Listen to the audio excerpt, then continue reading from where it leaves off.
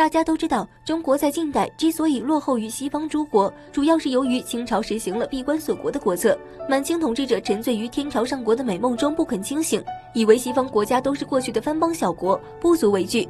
当马格尔尼使团访华，请求与中国通商时，骄傲自大的乾隆皇帝直接便拒绝了。他以中国地大物博为由，不需要同西方诸国进行贸易。如果西方国家有需要，他可以进行赏。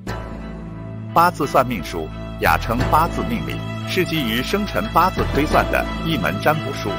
向大家推荐一位研究八字命理二十余年的道长，擅长八字算命、居家风水布局、灵符法事。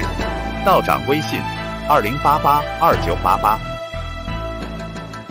国两百多年来还没有受到这份屈辱。所以，道光皇帝迫切的需要了解自己的敌人。在签订南京条约的前三个月，清朝正好抓了几个英军俘虏，所以道光皇帝便命大臣去提审这几个俘虏，希望从他们口中能得到一些有用的情报。在道光罗列的单子上，排名前几的问题便是：英吉利国处于什么位置？距中国有多远？从英吉利到中国一路上需要经过哪些国家？英吉利国土面积如何？与中国相比怎么样？英吉利是否与沙俄接壤？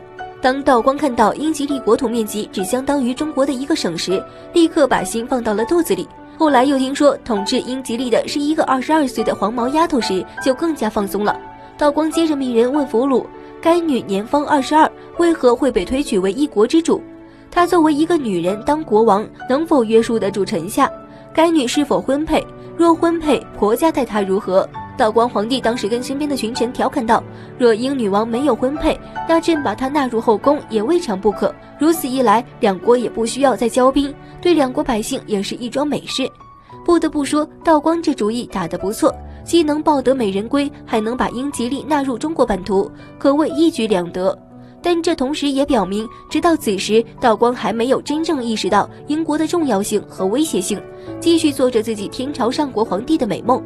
如果他此时能意识到中国与西方在工业和科技方面的差距，奋起直追，说不定世界格局将会是另一番局面。